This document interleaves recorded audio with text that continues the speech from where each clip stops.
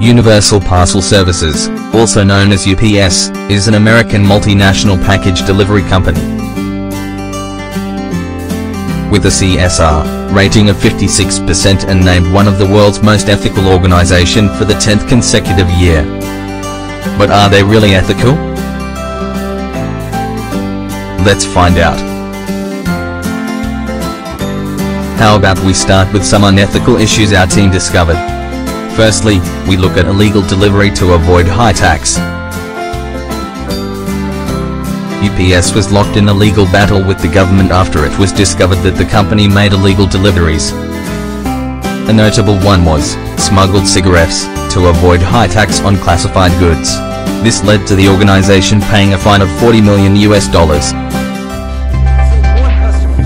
The state of New York and city authorities have taken United Parcel Service Inc. UPS.N to trial this Monday, asking a federal judge to make the company pay more than $872 million. The settlement is due to UPS allegedly making illegal deliveries of more than 683,000 cartons of untaxed cigarettes.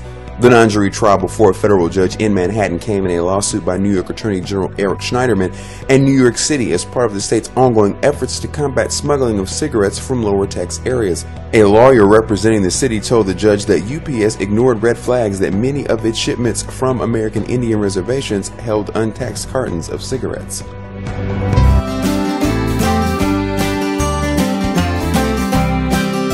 The company also submitted false delivery claims to the federal government over next day or overnight packages.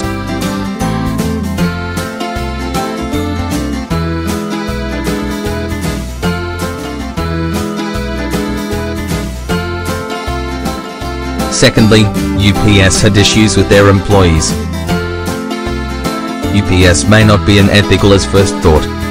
One issue that has rocked the organization and is still embedded in their DNA is discrimination and racism.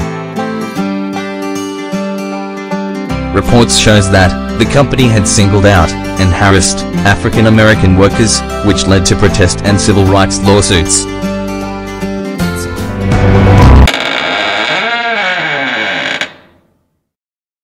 Now, a CBS 46 investigation. Atlanta-based UPS says its secret business plans have been exposed by a high-level employee, and the company is now going to federal court to try and out them.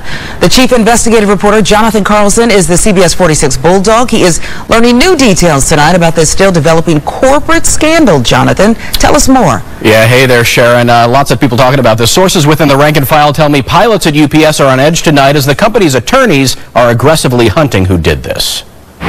Shipping giant UPS dealing with an internal crisis. The Atlanta-based company is accusing a pilot of wrongfully obtaining what they call highly confidential strategic plans about their aircraft fleet and splashing the documents on internet message boards visited by other pilots. The leaker's motive unknown. Details. Melinda?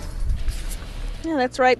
Suspicious packages are nothing new, but police in Londonderry caught a man who was trying to pick up a package with narcotics inside. What he didn't know is that these police officers dressed up as UPS folks and got him in disguise as well.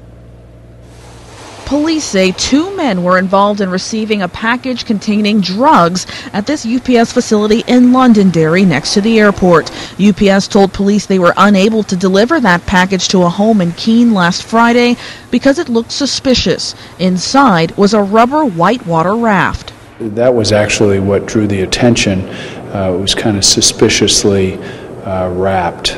Um, so that was the initial thing that seemed a little off.